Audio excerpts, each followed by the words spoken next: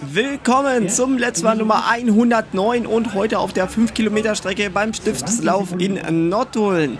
Bei regnerischem Wetter, wie ihr gleich seht. Wir hören uns erstmal den Start an und dann gebe ich meinen Senf dazu ab.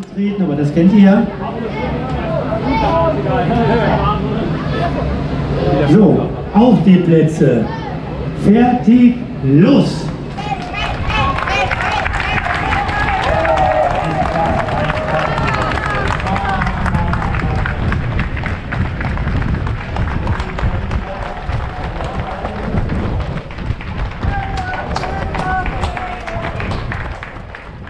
Und da geht es auch schon los. Hier noch kein Regen, aber ihr seht schon, die Straße relativ nass. Es hat den ganzen Tag geregnet. Es war ziemlich kalt, deshalb auch mit langen Oberarmklamotten hier unterwegs und dementsprechend gleich auch mal so richtig schön Regen und Wind oben. Ihr seht auch, es geht immer so ein bisschen hoch und runter hier in Nottuln. Also so flach ist das Münsterland manchmal schon gar nicht. Sind natürlich keine großartigen Berge, aber strengt schon an. Hier geht es erstmal eine kleine Runde durch die Stadt und dann geht es eine Runde ein bisschen außerhalb, bis wir dann wieder zurückkommen. Ich bin auch bei diesem Lauf heute wieder beide Strecken gelaufen, 5 Kilometer und eine Stunde später, nachdem ich im Ziel war, dann auch wieder die 10 Kilometer, denn ich wollte heute einfach mal einen richtig guten Trainingstag haben, wo ich eben zwei Strecken damit ordentlicher Geschwindigkeit laufe und einfach mal gucke, was bei den ersten Wettkampf jetzt langsam wieder geht, denn die Saison fängt jetzt etwa ja, wieder an. Das heißt, es gibt jetzt fast jedes Wochenende wieder einen Wettkampf und dadurch natürlich auch mehr Laufvideos. Die letzten Wettkämpfe waren dann eher so Crossläufe und so, wo man dann eben auch keine nachgemessenen Strecken hat und so weiter und dementsprechend natürlich auch die Zeiten nicht vergleichen kann. Aber jetzt geht's wieder richtig los. Dementsprechend hier erstmal 5 Kilometer und das Ganze auch aus dem Training raus. Das heißt, ich habe den Tag vorher nochmal 1000 Meter Intervalle auf der Bahn gemacht, so in 307, also auch schon relativ zügig. Da die Temperaturen aber relativ kalt waren, so um die 8, 9 Grad plus der Regen noch, ist es dann so gewesen, dass auch der Oberschenkel ein bisschen mitgenommen war. Das heißt, da sollte man vielleicht doch dran denken, nächstes Mal auch mit etwas dickeren ja, Hosen zu laufen oder zu trainieren zumindest, damit der Oberschenkel nicht zu sehr auskühlt, denn dann kann man schon mal sehr schnell auch Zerrungen bekommen und ich hatte auch heute dann eben dementsprechend ein bisschen Muskelkater, eine kleine Zerrung im Oberschenkel, aber das Ganze ging beim Aufwärmen dann auch langsam wieder weg. Hier sieht man relativ enge Wege, die auch ziemlich schlammig waren. Ich laufe dann mit Schuhen, gerade so kurze Strecken, die dann relativ wenig Profil drunter haben. Und dann bin ich hier auch schon die ganze Zeit weggerutscht. Aber das war so eine Strecke von 200 Meter. Nachher geht es auch nochmal durch den Wald. Das heißt, man sollte sich die Strecken vielleicht vorher mal so ein bisschen angucken auf Google Maps. Wo gehen die so her? Ist das jetzt Straße oder nicht? Welche Schuhe ziehe ich dann vielleicht an oder welche lasse ich lieber zu Hause? Ansonsten die Strecke sehr abwechslungsreich. Hier mal kurze Wege, nachher geht es noch durch den Wald, Berg hoch, Berg runter, alles mit dabei heute in diesem kleinen Lauf durch die Stadt, übers Land. Also wirklich sehr abwechslungsreich. Und hier die Wege natürlich auch sehr eng, da kommt man den anderen Leuten dann schon öfters entgegen beim 10 Kilometer Lauf, wo es dann zwei Runden sind. Und da ist natürlich der Fahrradfahrer sehr gefragt, dass er dann Platz macht, weil nicht jeder denkt daran, dass da von vorne jemand kommt. Deshalb hier natürlich auch sehr eng. Der erste Kilometer, wie ihr seht, hier so mit drei 14, ähm, 13 irgendwie sowas durch. Das Tempo war relativ locker. Ich bin auch vorne alleine gelaufen. Die anderen waren nachher mit zwei Minuten Rückstand dann im Ziel. Von daher hatte ich jetzt auch keine großen ähm, Anstrengungen jetzt hier beim 5 Kilometer Lauf. Das ging. Obwohl ich trotzdem dann noch relativ zügig gelaufen bin, weil ich mich auch einfach gut gefühlt habe und natürlich jetzt nicht unbedingt dann mit einer extrem langsamen Zeit dann auch ins Ziel wollte. Hab dann hier so ein bisschen geguckt, was geht mit den Beinen und so und ähm, wollte dann einfach auch so das 10 Kilometer Tempo so ein bisschen reinkriegen. Das Ganze war dann auf 10 Kilometern auch so, dass das ungefähr jetzt die Geschwindigkeit ist vom 5 Kilometer Lauf, die wir auf den 10 Kilometern dann auf den letzten 5 Kilometern zumindest hatten und dementsprechend natürlich auch eine sehr gute Grundvoraussetzung.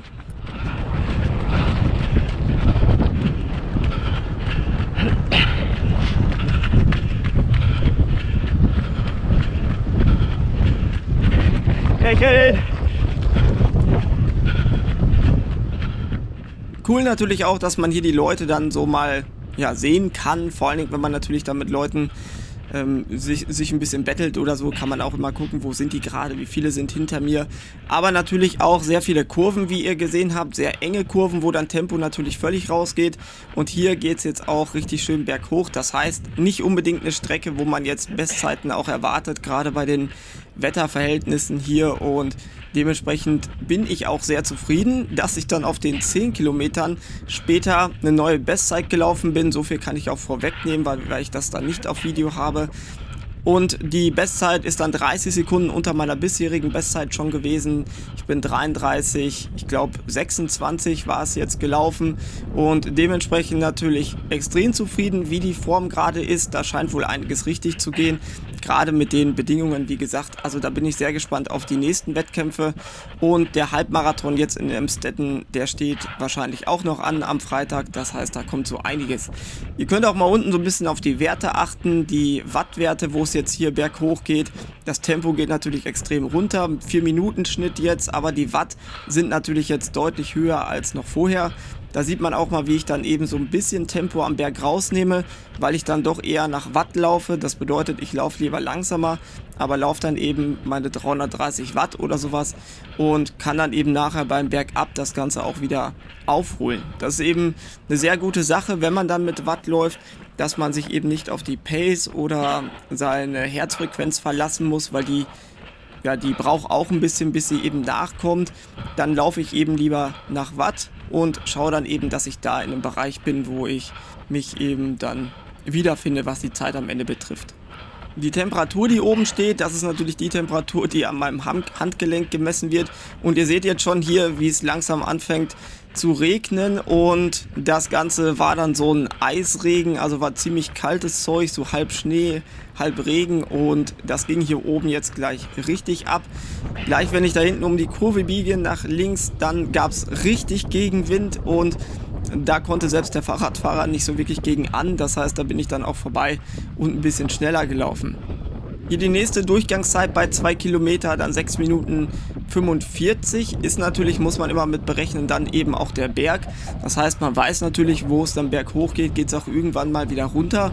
Und da kann ich die Zeiten dann auch wieder aufholen, wenn ich dann irgendwie ähm, ja, mir vorgenommen hat, eine bestimmte schnelle Zeit zu laufen oder so. Und man ist eben ein bisschen drunter, weiß man aber, sollte man keine Panik bekommen, sondern weiß natürlich ganz genau, okay, nachher wird es aber wieder schneller, geht es wieder bergab und dann passt das wieder.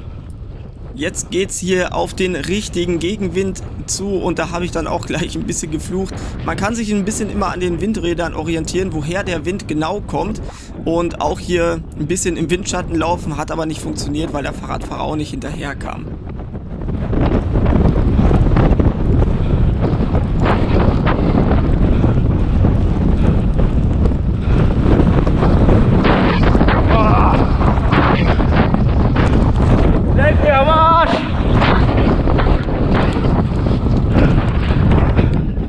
Ja, das war wirklich richtig hart hier oben. Also man sieht schon und äh, der Gegenwind dann noch bei, das war dann auch richtig kühl.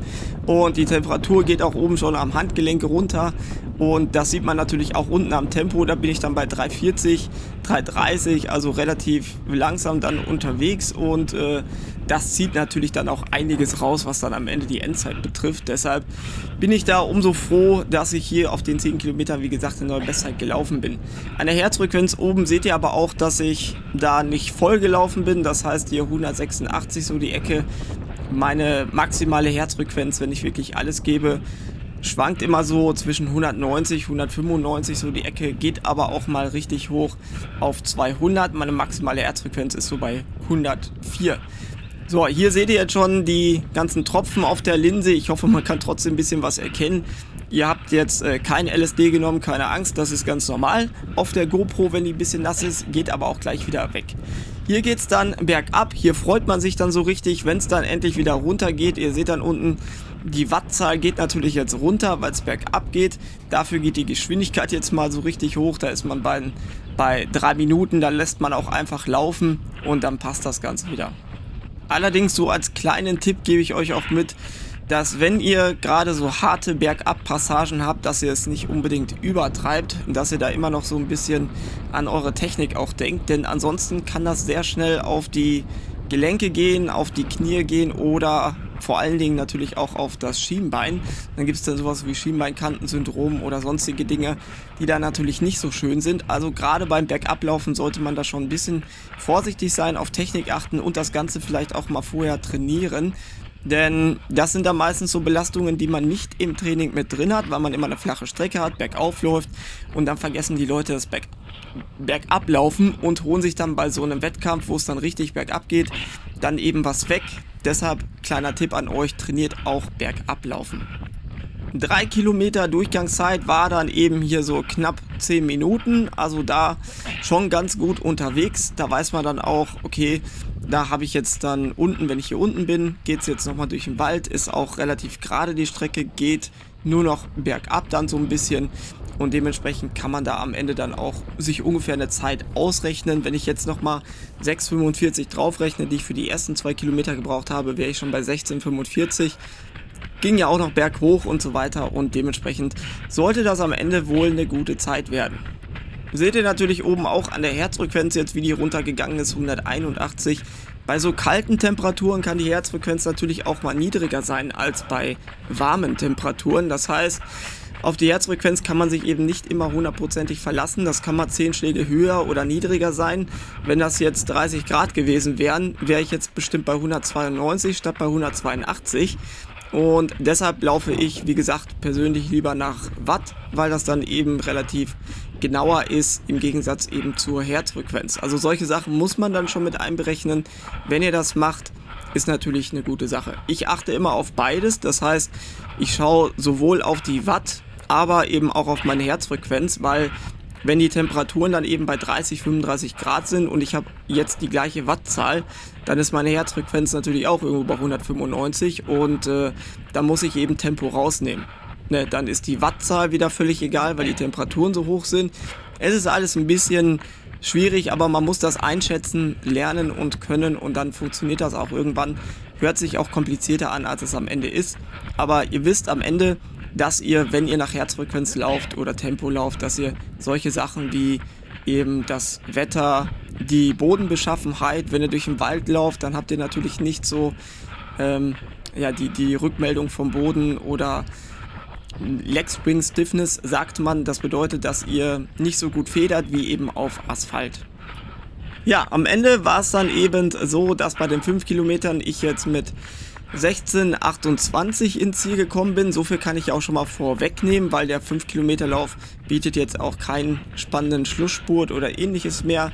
Als zweiter kam dann Julian Kuhlmann aus Münster in 18,22 ins Ziel und Moritz Niehoff. Alle so relativ nah beieinander. Die haben sich da wohl hinter mir noch richtig gebettelt, alle.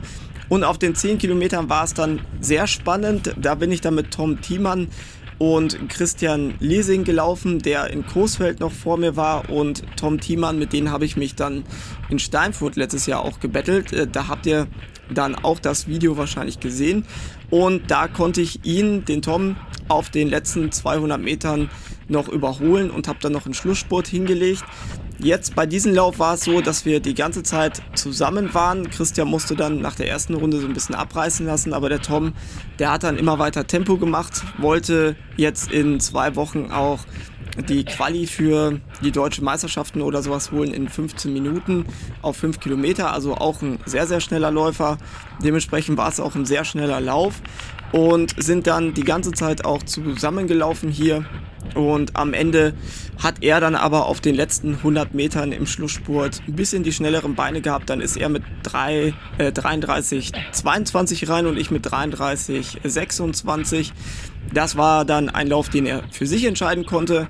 Natürlich so ein bisschen die Vorbelastung hier, aber ich hatte auf den letzten 100 Metern dann auch irgendwie keine Ambitionen mehr, da nochmal Gas zu geben. Ich wusste, dass ich eine neue Bestzeit habe und das hat mir dann persönlich erstmal gereicht. Von daher auch eine sehr gute Sache.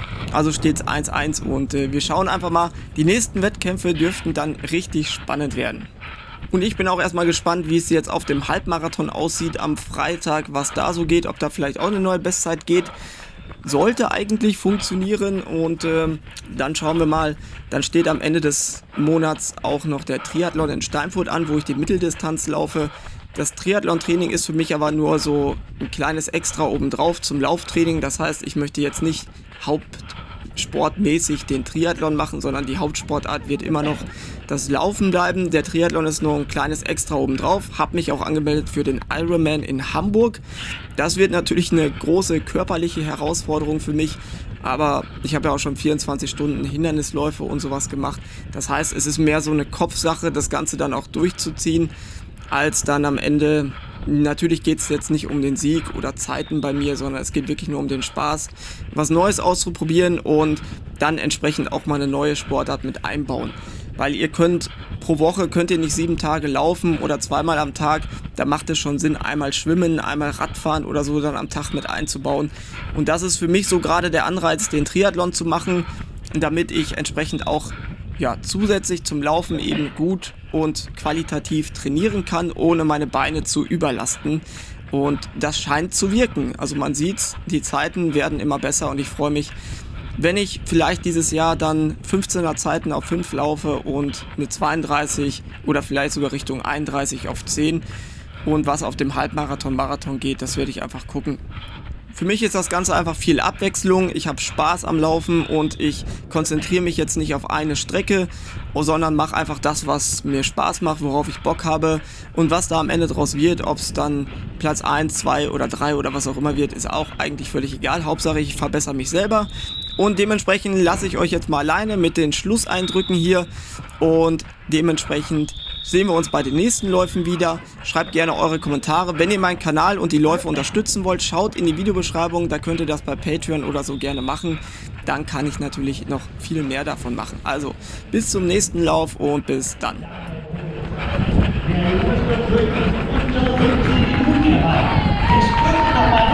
Das Headkamera übrigens mit 16, 27 das Ziel auf. Absolute Topzeit.